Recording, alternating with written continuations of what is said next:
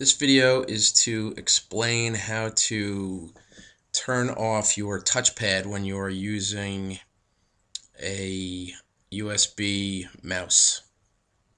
Um, I find when I type and the touchpad is on, my hand will hit the touchpad and then the mouse, the cursor gets moved all over the place and it's just really irritating. So anyway, I went and searched for a solution and I found this moronic HP um, so-called solution on uh, an HP forum uh, solved. Just so you know, you know, you'll feel if you search for the uh, do a search, you'll probably come on come upon this website. Go to solution.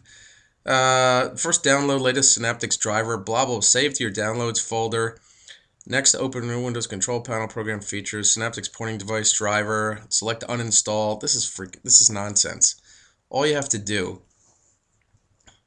go over to your start button here, go to control panel, go to hardware and sound, devices and printers, click on mouse. This comes up, go to device settings, disable internal pointing device when external USB pointing device is attached. Check oh. that, hit apply on your, and hit OK.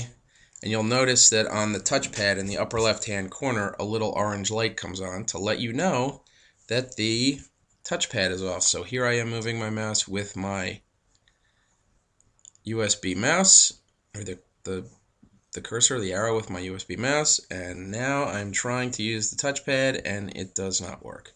So, and obviously to enable it again, you do the same thing. Go to control panel, uh, hardware and sound, mouse, device settings, turn it off, always hit apply and OK, and the light goes off and you're back in business. This is me using the touchpad, but I don't want it on, so I'm going to disable it again.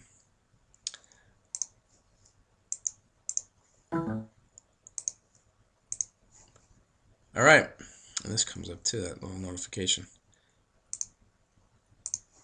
hope that has been helpful.